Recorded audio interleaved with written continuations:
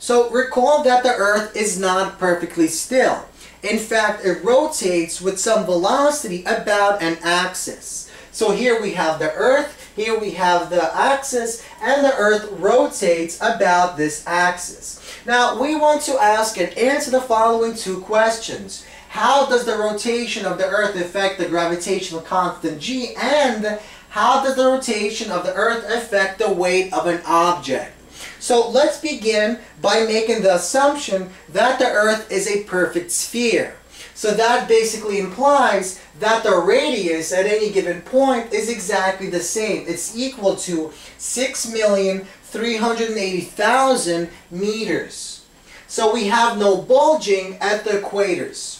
So let's suppose we take a person and place the person at the pole of our Earth. So let's say we place a person onto a scale at the North Pole, as shown here. So we have the person, the scale, and the North Pole.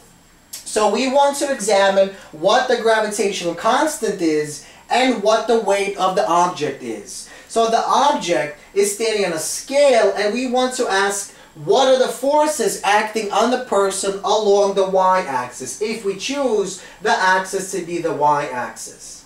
So we have two forces acting on the person. We have the force of gravity, which is acting downward. Let's choose that to be the positive direction.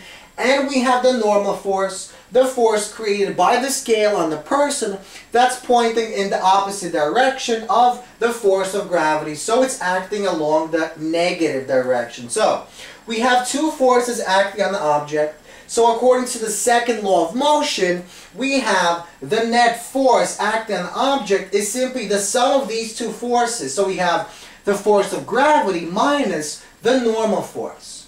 Now notice as the earth rotates, it's not actually rotating at these two ends, at the poles. So that means the person does not have a centripetal acceleration at the poles.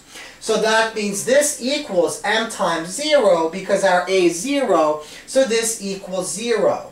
So we can rearrange this equation and we find that the gravitational force is equal to the normal force. So mg times, or mg is equal to mg. The masses are identical, we cancel the masses out, and g equals g. So that means our gravitational constant at the poles is simply 9.80 meters per second squared. And the weight of the object at the poles is simply m times g, our gravitational constant. Now, what about if we take the same person and the same scale and place him on one of the equators? So let's, let's say we place him here.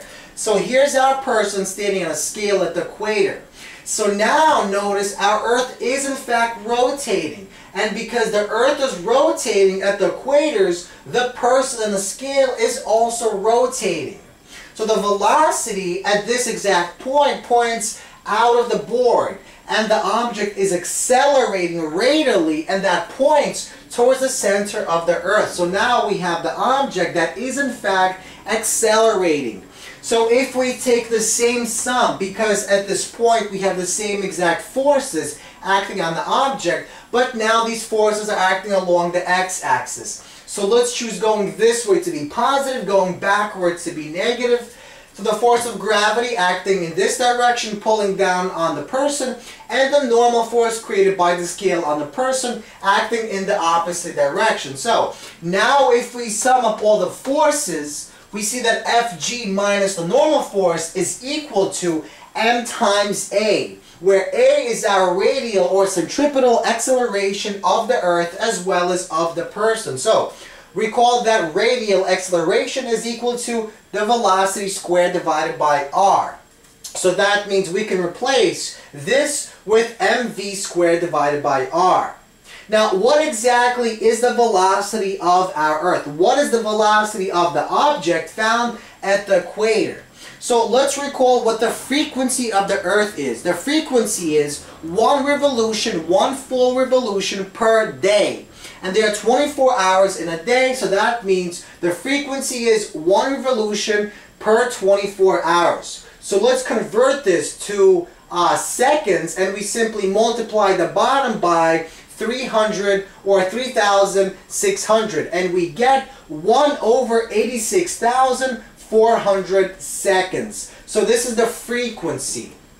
Now, what about the velocity? Well, the velocity is given by taking the circumference of our circle of our Earth and multiplying that by our frequency. So 2 times pi times r, where r is the radius of the circle. So r is simply 6,380,000 meters. So we plug that into there and we multiply by the frequency and we get a velocity of 464 meters per second. So this is the velocity of the object found at the equator on the Earth.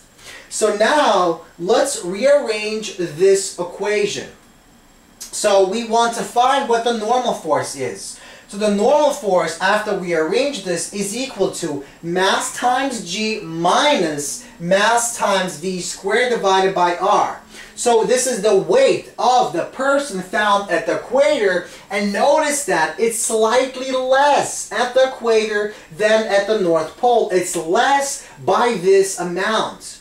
So when the person is standing at the poles, we see that our force, the gravitational force, is equal to the normal force. But at one of the equators, on the equator, we have the following formula, so it's slightly less. What about our gravitational constant g? Well, let's rearrange our equation, or actually let's take this equation and let's rewrite these guys as mg minus mg. Now notice, these two g's are not exactly the same. This g refers to 9.80 meters per second squared. But this g is the g we're looking for. We want to find this g.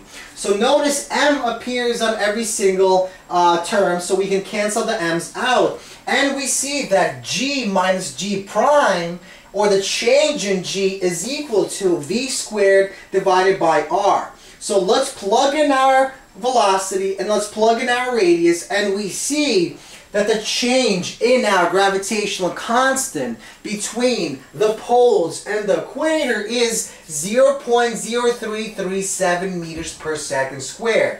So there is in fact a difference in the gravitational constant if you compare it at the pole and at the equator and the difference is given by this magnitude. So